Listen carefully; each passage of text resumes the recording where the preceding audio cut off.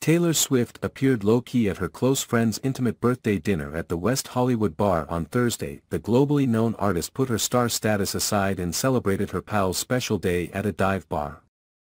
Notably, the Lover singer's beau, Travis Kelce, was missing from the celebration. Speaking of Swift's body language, Judy James told The Mirror that Swift spent her friend's night out loyally low-key and subdued rather than in party mode.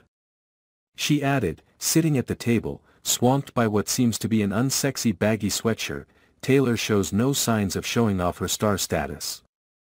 Taylor Swift puts her star status aside to celebrate friend's birthday James continued, she sits low in her seat with her arms under the table, looking as though she's on her best behavior. While analyzing her viral photos, the expert claimed that Swift was seen studying something that could be her phone screen, hinting that perhaps she is in contact with Travis while she's out with the girls.